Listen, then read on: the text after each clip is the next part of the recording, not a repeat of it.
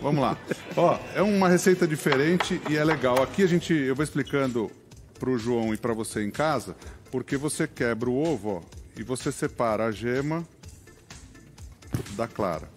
Aí, a gente já fez muitas vezes, Rê, colorido, não foi? É, segura aqui um pouquinho para mim, por favor, só pra gente não perder a gema. Porque a gema a gente tem que separar, certo? Exato. E se eu colocar, ela vai tombar. Então, para que isso não aconteça... Opa, a clara caiu. Depois a gente acerta aqui. Rê, vai quebrando um outro aqui. Eu vou cortar aqui, ó, o queijo. Então a gente vai colocar o queijo na clara. E se quiser colocar algum outro tempero, João, você de casa, pode colocar. Então, queijo processado, que a gente corta aqui, dá uma picadinha nele, pra gente colocar. Aqui já tá legal, ó. Aí, se você quiser colocar algum outro tempero, a gente pode colocar. Qua- quase que foi tudo aqui, né? Foi tudo. Já, Quase foi já tudo. no outro. É bom que Essas coisas claro, acontecem, perfeito. Né? Ah, demais. Você viu que eu te expliquei do negócio do braço? Sim. Soltou, do- soltou sem querer. Tá vendo? O Lucas fala que é o delayzinho, a mão com o delay. É a mão com delay. É a mão com delay, ó.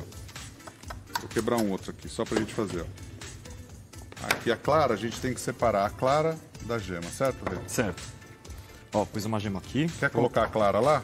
Não Vou tem colocar. jeito certo ou tem jeito certo de separar? Que eu sempre tive essa dúvida. Não, eu aqui, fazia ó. um buraquinho é, no ovo e deixava sair a, a, a clara inteira, depois eu abria o ovo e e Ah, desse jeito é mais fácil, ó, João. Aqui, ó. É? Vou te mostrar, ó. Você pega aqui, ó, com três dedos, ó. Então, a dúvida do João, eu nunca expliquei isso, ó. Você pega esses três dedos como base, ó. Tá vendo aqui, ó?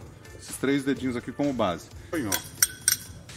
Põe o temperinho e é uma clara diferente. Aqui a gente pode pôr o queijo também, Renato. Pode colocar o queijo o que mais gostar, o que tiver na geladeira, que fica bom também. Por exemplo, você não gosta de azeitona. Quer colocar azeitona? Podemos colocar azeitona. Quer colocar tomate? Podemos colocar tomate. Eles vão fazer com queijo? Vamos fazer com queijo. Fica muito legal com vários tipos de queijo, inclusive.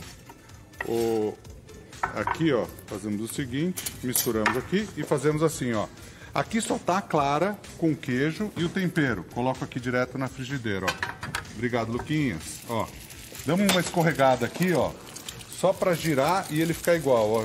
João, gira aqui. Lucas, enquanto a gente tá falando, prato que teu pai mais gosta?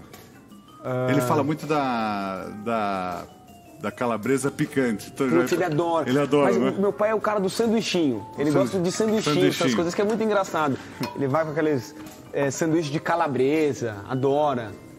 Aquele pão de calabresa mesmo. Pãozinho de né, calabresa. Putz. Pãozinho de calabresa. Vamos fazer Exatamente. receita então. Vamos, vamos De embora. pão de calabresa. Eu vou te